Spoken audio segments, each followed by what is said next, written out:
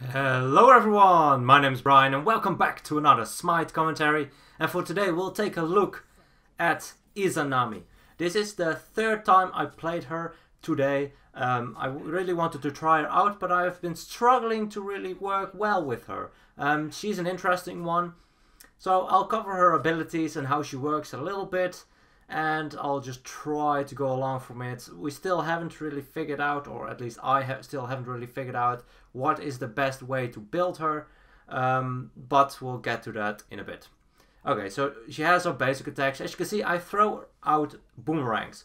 These boomerangs will hit 50% of your uh, basic damage and will return on hit. This will mean that you will do uh, less damage if you don't get return hits, but you can hit multiple targets at the same time, which can be very, very powerful. Especially for the wave clear, it can be insanely good for you to um, get this boomerang, because you can just throw it through the entire wave and it will return. So for wave clear it is a very good ability. Well, it's not really ability, it's just the way her basic attacks work. So, her first ability is an augmentation to her uh, basic. She will change her basic. The boomerangs will not pass through anything anymore. It will just be a regular basic um, on a hunter's side. It will stop on the first target hit. It will deal the full damage of her basic. Um, so that's very, very good. And she will have increased attack speed. As you can see, I use it now to make sure that I'll deal more damage more quickly to the to the big minion, to the big large uh, minion buff camp thing. And as you can see, it returns, you see the double damage on the basics. So it's an interesting one. Also, your wand provides a little bit bonus damage. I think at maximum rank it provides 25 additional bonus damage when you have it activated.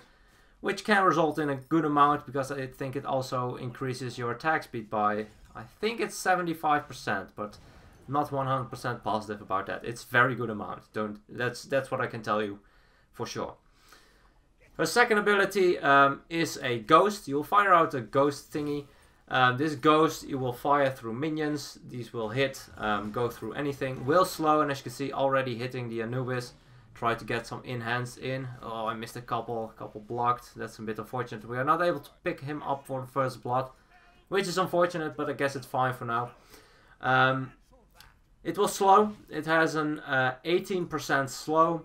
And if you get a kill while the slow is applied to someone, or if you kill someone with the ability, the slow will increase in its effectivity. So it will have increased slow up to a maximum of 30%, which is definitely not a bad slow. Um, I did miss my 2 unfortunately. If I hit that one, I would have gotten the passive already. Uh, I, then I would have had 24% slow and if you get another stack you will have the 30% slow. So you have you need two kills to get the full slow potential on your second ability um, or assist. You also get it on assist, which is definitely not bad. Um, so that's our overall uh, wave clear to be honest. You wave clear or with your basic attack a lot um, or you use your 2 to help you with the wave clear to, to do it quickly. Um, it is a very good wave clear she has to be honest. Uh, only um, early on it's a bit mediocre damage with her uh, basic. It's not the most damage you can do to the minions. As you can see, it returns for um, 47 damage, and it goes out for 47 damage, or 48, depending on what minion I'm hitting. But that is not an awful lot, especially if you uh, don't have any items online. I mean, I have power boots as well. Ooh, oh, I thought that would have finished him. Can we get him? One basic. Yes, one basic is enough. Goes through the tower as well. Um, that's an interesting thing. That's a really odd thing. If you fire straight at the tower, it will only hit the tower once. And it will bounce back immediately. And if you hit it more at the side, it will go through. So it's a bit of an awkward situation when it comes to towers. Um, the best way to get rid of the towers is just to use your one, to be honest. Let's see, can we deal some damage? Silence is already activated. Nice Sanctuary will prevent a lot of the damage. He is probably going to go for me. Let's use Sanctuary. He is not able to execute me because of that. Oh, shit. he was able to shoot his dragon past my dragon, my uh, Fafnir, and just barely hit me for that little bit of HP I had left. I probably should have just backed off. I didn't think he would have been able to pull off a shot like that because, of course, the Fafnir was um, in front of him. Bit unfortunate. Uh, was not a kill that I should have given up. Um, not an awful lot I can do about it now, but oh well. Lesson for later. Okay, your third ability is a bit awkward one, and it's an interesting one at the same time. It is kind of a leap, an underground leap as Hades. Um, you will go to your target location underground. You will go into stealth, so it's a stealth hunter. But um, if you use an ability, if you use a potion, if you use an active, if you get hit for damage, uh, if you're damaged over time, if you're if you have damage over time on you, um, those are all situations where you will get rid uh, of the slow. So the slow is very easily to get rid of. It is a very slow um, escape, in my opinion. Every time I used it today, um, I feel like I've been killed. Half half of my deaths were probably when I was trying to use my three, or just after I used my three, because it's not only very obvious where you're going, it's also very slow in going there. So before you actually um, are off and away, you are very likely to already have died. So that makes for some awkward situations, if you ask me. Decent damage with the My 1 activated. It is a very good ability. Um, I feel like that she has mediocre damage uh, when it's her boomerang. It's quite slow, um, doesn't do insane damage. You are not always guaranteed the return damage as well, which makes for um, interesting situations. The, strength of it, of course, is that it can pass through multiple guards. So if you are fighting a group of enemies and you're able to hit multiple of them, then you will deal more damage overall. But uh, I feel like those situations are not very common. So that makes a bit of an awkward guard. I really need to get used to her a little bit more. I haven't played her that much, so I can't give you the best opinion about her. Um, I've tried a couple of attack speed builds. Um, they might work. Your damage is very bad if you just go for an attack speed build. I tried it in Arena where I went for a Ichaival uh, Qin's into a Frostbound, a Wind Demon, and a Poisoned Star. So you will have an insane amount of slow. You will have a very high crit chance with that. Um, you will have just a very good way to kind of lock people down as for slowing them. But I feel like your damage is just almost terrible at that point uh, with that build. So I am not sure yet. Of course, after two matches, you can't really write off a build or anything. Of course, you also have to consider what you're against, what is your team, how is the situation every single time. We'll have to see. I will be experimenting more with her. She has an interest. The fact that she has the boomerangs uh, makes her very different from other gods as for builds. Um, I feel like the Qin's build might e not even be worth it on her because she doesn't get double Qin's proc, she doesn't get double Ichaival proc, she doesn't get uh, Executioner uh, double proc. She almost gets no double procs out of her um, boomerang boomerang effect, so it basically makes her basic attacks worse than any other hunter because she is not always guaranteed to get that um, kind of double hit where the boomerang also return, uh, well, where the boomerang return damage will be applied as well. So that makes for some... It's an interesting guard. I can't say anything else about it for now. Um, her ultimate is a channeling ability. It's a small, well, it's not small, it's not large. It's a, a medium size ability in my opinion. Um, for the charge up, you probably need some slow to set it up properly. Properly, uh, it will deal a very good amount of damage. It has high scaling. I think it's something like 120% high uh, scaling on it. So I feel like building power on her will help a lot with the 2 and the 4 damage. Um, but other abilities don't do damage that has scaling. So that makes things a bit more difficult as for um, how much you get out of it. Of course the basics do get a decent amount for it as well. But you get the point. The ultimate is not only high damage ability though, um, it also provides a silence. This silence is very effective um, when you are dealing with, um, well, mages, or when you are able to sneak up on someone. Use your 3, go invisible, sneak up on them, use your 2, use your ult, or your ult and your 2. Um, it's very likely that you're able to confirm it. Loki missed his ultimate. They are going to engage on me. Can I get them off? Let's go invisible. Nice ultimate by the Fafnir. He's actually going to dive. Got the Ao Kuang with his dragon form. And Arachne is able to secure the Loki. Nice. Well done. Um, was was quite risky. I used my Sanctuary quite early because I expected the Loki to ult me immediately. He did afterwards, after my uh, Sanctuary was down but he did miss me, so I was able to survive. I think that if he actually hit me, then um, I would have died, probably guaranteed. I feel like her escape is not very reliable, um, somewhat like uh, Raijin's ult 3, where it was very easily interrupted because it has a long cast time. I feel like she has the same issue with this uh, leap or escape.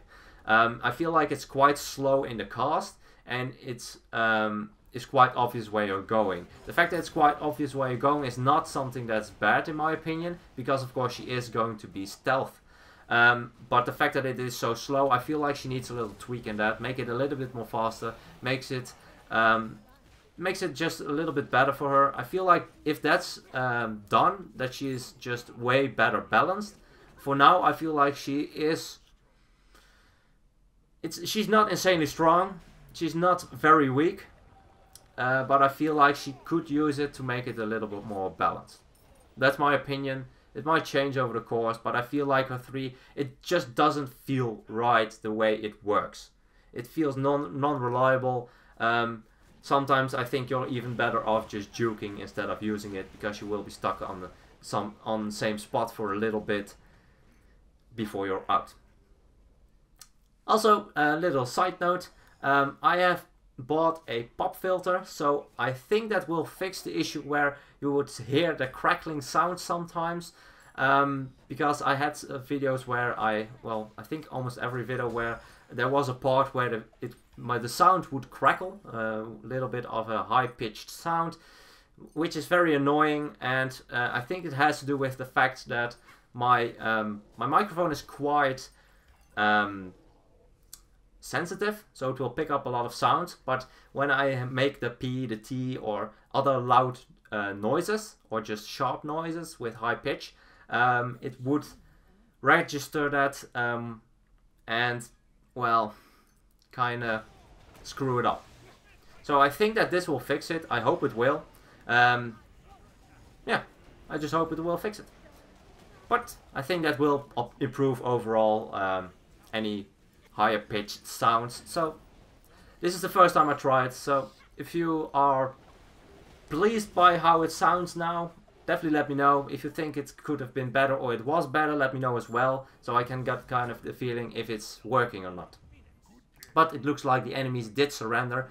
Um, just for what I wanted to go for this build, I wanted to finish it off with some crit. I wanted to go first for the Wind Demon. The Wind Demon will provide 20% crit chance, but since I have two blades uh, going to them and coming back, on both of them I have 20% crit chance. But, however, they can't crit both, so that that's something you have to take into consideration. You can only hit, you can only crit once with one of your blades. Um, I'm not sure how it uh, is when you hit, for instance, an entire minion wave with one blade if it can crit multiple targets. Not sure about that just yet. But I do know that it will only crit either on um, the return or just when you throw it out. But both have a 20% chance. So the chance that you crit uh, with Wind Demon is actually 40% when you use her regular basic. Which makes for an interesting thing because you will proc your Wind Demon more often making sure that you have the attack speed as well as the movement speed up more often. So that I feel like that's a very good item for her. Um, going Transcendence will give her a lot of power. I went for the um. I'm not sure if that's a great pickup for her because her lifesteal is not the best. She has only 30%, 33% lifesteal for a regular basic because she can hit multiple targets. So um, she will get the regular lifesteal if she had if she hit three targets or more with both the ticks, the going through the enemy and coming back. So that lifesteal might not be as effective on her as any other thing. Uh, I just picked up the uh, the Asi for the pen as well as some attack speed to make sure that my Executioner is more effective as well. You can also just go for um, a low attack speed build where you just rely on your 1 to kind of burst your enemies. So, so kind of player as an assassin, kind of as a Loki. You go stealth, you go around them, hit with 2 4 combo, activate your 1, smack him with some high damage uh, basics, and kill him. That's an option, but when you do that, you are quite vulnerable because, of course, you did use your only escape. It has a very long cooldown. It has 20 seconds cooldown uh, at rank 1 up to 16. 16 is still a very long cooldown on a escape for a hunter, so she is quite vulnerable when that's down. Anyway, I hope you guys uh, learn a bit about Izanami. I will take a further look at her, uh, come back to her later when I have played her a little bit more, got a better feeling for her, um, got more Izanamis against me with different builds to kind of get a good feeling what is probably going to work best for her but I'm really curious to see how she will perform. In my opinion, she's a little bit awkward at first, but I think that she can be very potent, especially with that silence. It's just a very high burst ability. I hope you guys enjoyed. Thank you for all the feedback. If you have any requests, gods, game modes, or anything, please let me know. And as always, good luck, have fun, and I'll see you guys in the next one.